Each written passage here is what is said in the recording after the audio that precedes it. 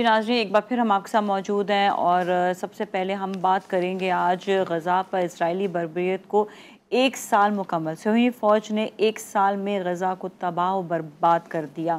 ملبے تلے دس ہزار سے زائد فلسطینیوں کی لاشیں اب بھی موجود ہیں۔ غزہ میں موجود، مجموعی طور پر اکتالیس ہزار نو سو فلسطینی شہید اور ستانوے ہزار تین سو زخمی ہو چکے ہیں۔ ہمارے ساتھ اس موضوع پر بات کرنے کے لیے موجود ہے ترجمان غزہ جلال الفرا۔ السلام علیکم جی۔ وعلیکم السلام۔ جی سب سے پہلے تو میں آپ سے سوال کروں گی کہ غزہ میں جاری جنگ کو ایک سال مکمل ہو گیا ہے۔ فلسطینیوں پر کیا بیت رہی ہے؟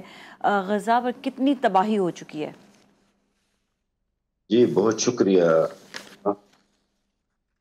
میں اللہ سے یہ ہمارے پاکستان ایک خیر و برکت ثابت ہو۔ دیکھیے، غزہ کا جو حال ہے، جس طرح آپ کو فرمایا ہے کہ اکتالیس بار سے زیادہ شہادت ہوئی ہے اور دس ہزار سے زیادہ لوگ مسنگ پرسنس جو لاپتہ افراد ہے تو میں تھوڑا سا آپ کے اس فگرز میں تھوڑا سا کریکشن کرنا چاہتا ہوں جی جی۔ یہ ہے کہ شہادتوں کی جو تعداد ہے وہ پچاس ہزار سے اوپر ہے۔ جی جی۔ یہ جو اکتالیس اور بیالیس ہزار کا ذکر کیا جا رہا ہے یہ وہی شہداء کی لاش ہے جو ہسپتالز میں موصول ہوئی ہے۔ اب وہ جو اس وقت روڈوں پہ گلیوں میں I'm sorry to say کہ ان کو کتے اور بلیاں کھا رہے ہیں۔ وہ تو ابھی تک گنتی میں نہیں ہے۔ اچھا اب بات دوسری بات جو آپ نے فرمایا کہ دس ہزار سوری دس جو زخمی ہے آپ زخمی طرف آ جاتا ہوں۔ زخمی کی طرف تقریباً میڈیا میں بتایا جا رہا ہے کہ ninety two ninety three thousand. لیکن حقیقت کچھ ہے۔ یہ ہے کہ ایک لاکھ بیس کے قریب ہے۔ اچھا مسنگ پرسن کی جو تعداد ہے مسنگ پرسن کی جو تعداد بیس ہزار سے اوپر ہے محترمہ۔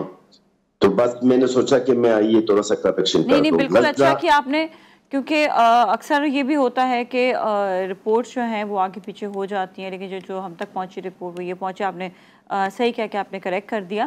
اب آگے بتائیے گا کہ بیسکلی یہ اب آپ بتائیں کہ اس وقت سچویشن وہاں پر کیا ہے لوگوں پر کیا بیت رہی ہے۔ کھانے پینے کا انتظام، ان سے کنیکشن کچھ بھی تو یہ بہت مشکلات اس وقت وہاں پر ہیں۔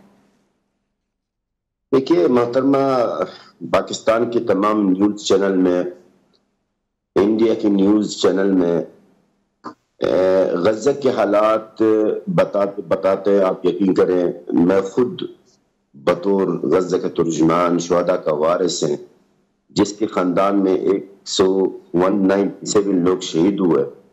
بتاتے بتاتے ہوئے میں مایوس ہوا ہوں، امت مسلمہ سے اور ہماری عربوں سے۔ صورتحال کی جو آپ نے پوچھا ہے، صورتحال انتہائی خطرناک ہے۔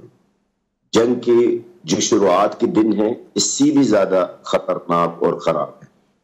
اس وقت میں چند الفاظوں میں بھی بیان کروں گا غزہ کی صورتحال۔ غزہ کی صورتحال یہ ہے کہ میری عوام، میری قوم پر فضائی حملہ لگاتار چل رہے ہیں۔ میری عوام، میری قوم پر زمینی حملے بھی چل رہے ہیں۔ میری عوام کی بو کا پیاسا مارا جا رہا ہے۔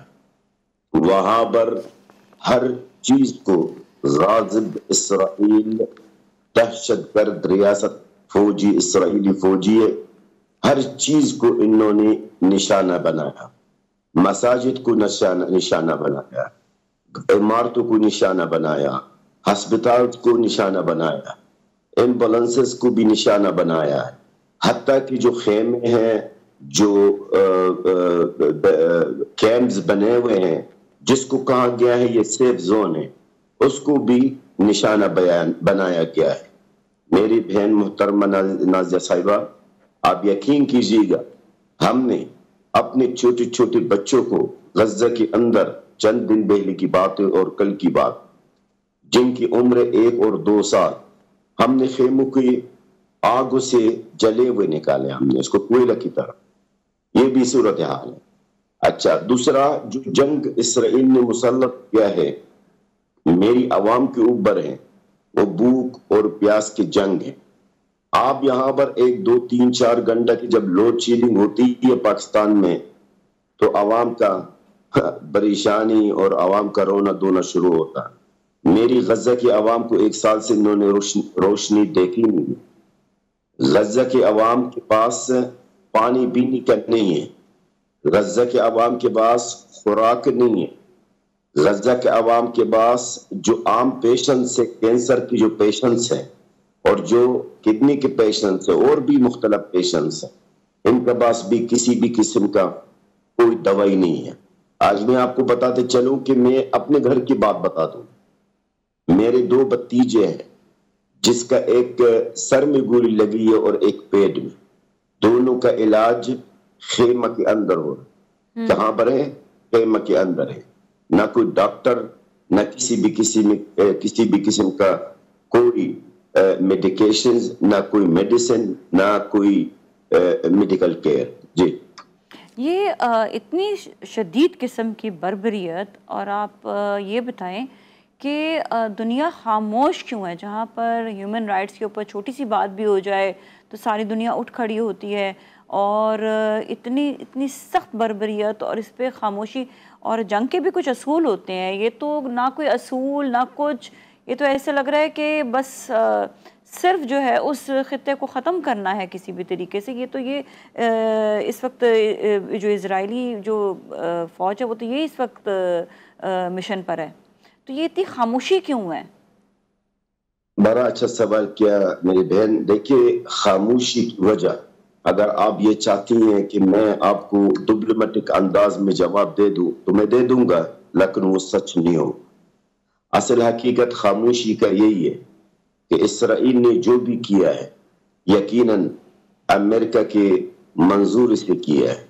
اسرائیل کی جو دہشت گرد ریاست جو بھی کر رہا ہے، میری عوام کے ساتھ ہے، وہ امریکہ اور مغربی طاقتوں کی طاقتوں کی منظوری سے اور مدد سے کر رہا ہے۔ اور ہمارے امت مسلمہ کا جو خاموشی اور دنیا کی جو خاموشی ہے، اس کی وجہ صرف ایک ہی ہو سکتا وہ یہی ہے کہ ان کے دل میں ایک وہم ایک در ہے امریکہ سے۔ ہر کوئی یہی سوچتا ہے کہ اگر میں کچھ کروں تو امریکہ میری بربی شروع ہو جائے گا۔ امریکہ کے ساتھ بھی میرے ایک دشمنی پیٹ ہو جائے گی۔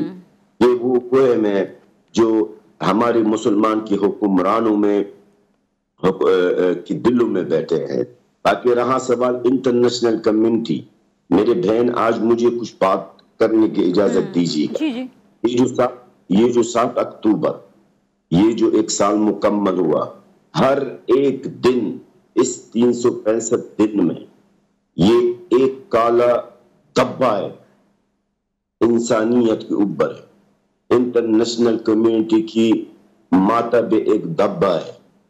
ان لوگ ان ممالک اوپر جو اپنا آپ کو بڑے انصاف انسانی حقوق کے عمل علم بردار اپنا آپ کو دعویٰ کرتے تھے ان کے لیے بھی یہ ایک شرمناک بات ہے جو جو جو غزہ میں ہو رہا ہے۔ آج میں آپ کو بتاتے چلوں محترمہ میں غیروں سے بعد میں گلا کروں۔ اپنے سے تو پہلے گلا کرنا چاہیے۔ جی۔ ہماری عرب ہماری جو عرب ہے جو ہمارے آس پاس رہنے والے ممالک ہیں انہی کے سامنے سب کچھ ہو رہا ہے، وہ خاموش ہیں۔ تو آپ دنیا کی کیا بات کریں گے؟ جو ہمارے مسلمان کلمہ گو ہیں جن کو پتا ہے کہ کوئی ذاتی ہماری جنگ نہیں ہے، ان کو پتا ہے ہم کو دولت یا اقتدار کے لیے جنگ تو نہیں کر رہے۔ ہمارا جو جنگ اس سے کے ساتھ ہے، حق اور بات کا جنگ ہے۔ یہ قبل اول کا جنگ ہے۔ یہ مسجد الاقصہ کا جنگ ہے۔ یہ ہمارا اماموں کے سرزمین کا جنگ ہے۔ یہ انبیاء کی سرزمین کی جنگ ہے۔ یہ محشر کی سرزمین کا جنگ ہے۔ یہ آپ رسول اللہ صلی اللہ علیہ وسلم کی مسرہ و معراج کا منزل کا جنگ ہے۔ تو اس کے باوجود بھی امت مسلمہ خاموش اور سب سے پہلا ہمارا گلہ ہماری عربوں سے ہے۔ سب سے پہلا گلہ ہمارے عربوں سے اور آپ کی توسط سے، اور آپ کی توسط سے۔ I'm sorry to say میں بطور غزہ کا ترجمان ترجمان ایک، ترجمان کے پاس جب کوئی میسج آتا ہے اپنے عوام کی طرف سے، وہ میسج ایک قسم کا ایک امانت ہوتا ہے جو آگیا کرنا کرنا پڑتا ہے۔ تو میں اس میسج کو ایک امانت کے طور پہ سمجھ کے، میں امتی مسلمہ کو ایک بیغام دینا چاہتا ہوں آپ کی توسط سے۔ میری عوام کا بیغام میرا خود کا نہیں ہے۔ میری امت کا بیغام یہی ہے کہ تین سو پینسٹھ سے تین سو پینسٹھ سامنے ہمیں مارا جا رہا ہے۔ ہمارا خون بایا جا رہا ہے۔ ہمیں کاٹا جا رہا ہے۔ ہمیں جلایا جا رہا ہے۔ اور آپ لوگ پوچھ رہے ہیں۔ اس لیے میری عوام کے الفاظ ہیں کہ ہم کسی بھی مسلمان کو قیامت دن تک معاف نہیں کریں گے۔ جی۔ اچھا جی یہ بتائیے گا کہ ایران کی ابھی انوالومنٹ ہوئی اور اس سے آپ کو کیا لگتا ہے کہ آگے کوئی اس سے کچھ آگے مزید جنگی اور خطرات بڑھ جائیں گے خطے میں، یا پھر آپ کو یہ لگتا ہے کہ ابھی اور سچویشن جو ہے وہ غذا کے لیے کچھ بہتری کی طرف آئے گی اسرائیلی فوج کے پیچھے ہٹے گی یا نہیں؟ دیکھیں کل کی جو جناب محترم ایرانی سفیر صاحب کا جو بیان ہے انڈیا کے اندر ہے، انہوں نے ایک واضح پیغام دیا تھا کہ اسرائیل نے اگر حماقت کر کے ایران پر کسی بھی قسم کا کوئی حملہ کیا ہے، تو ہمارے رد عمل، ہمارا جو ریئیکٹ ہوگا، وہ بہت سخت ہوگا۔ اور میں ان کی باتوں کا تائید کرتا ہوں۔ دیکھیے، محترمہ اسرائیل کا جو ٹارگٹ ہے ایران کا نیوکلیئر تو بی فرینک نیوکلیئر جو پروگرام ہے وہ اسرائیل کے ٹارگٹ میں ہے۔ اسرائیل کبھی بھی چاہتا ہے کہ ایران جیسا اسلامی ملک ہے وہ ایک نیوکلیئر ملک بن جائے۔ اس لیے روز کوئی نہ کوئی بہانہ تلاش کر کے ایران پر حملہ کرنے کی کوشش کر رہا ہے لیکن میری کل میں نے بھی کئی نیوز چینل میں میں نے میری پیشگوئی یہی تھی۔ اور اللہ کا فضل و کرم سے ہمارے ہمیشہ پیشگوئی ثابت ہو جاتی ہے درست ثابت ہو جاتی ہے۔ تو میرے خیال میں اگر اسرائیل نے حماقت کی ہے اور ایران پر کوئی ایسا نقصان زیادہ نقصان دہ کی ہے تو ایران اسرائیل کے نیچے سے زمین کو گرم کر دیں گے۔ کیونکہ میں نے کل بھی یہ بات کی ہے کئی اور نیوز چینل میں۔ ایران نے اٹھارہ سال اٹھارہ سال سے پریشانی برداشت کر رہا ہے تکلیف برداشت کر رہا ہے پابندیاں برداشت کر رہا ہے۔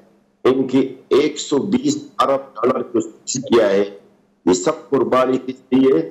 تاکہ وہ ان کا جو نیوکلیئر پروگرام ہے جی۔ وہ مکمل اور جی، جی۔ اس طرح اس نیوکلیئر پروگرام کو کرنے کی یا اس کو خراب کرنے کا اگر ہمت کرے گی تو یقیناً ایران جی، جی۔ خاموش نہیں ہوگا۔ آخری بات ایران کے بارے میں پتا کو ایران نے جب حملہ کیا تھا محترمہ اسرائیل کے اوپر ہے آپ یقین کیجیے گا وہ رات چاند رات تھی غزہ کے عوام کے لیے۔